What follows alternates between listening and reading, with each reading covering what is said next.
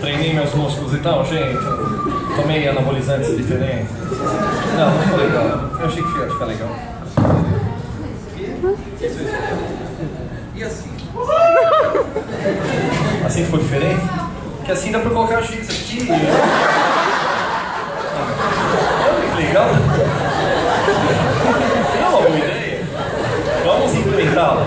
Oi, a voz ficou diferente, ficou? Dá pra ver se.